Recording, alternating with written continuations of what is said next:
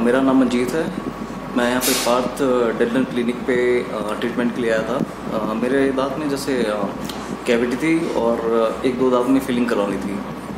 तो मेरा यहाँ पे जो ट्रीटमेंट वो डॉक्टर चित्रा ने किया और ट्रीटमेंट बहुत ही अच्छा रहा और अभी मैं मुझे किसी भी तरह का कोई प्रॉब्लम नहीं है और यहाँ पे doctor i mean uh, they are very qualified and uh, i can see uh, i'm not feeling any problem in my teeth.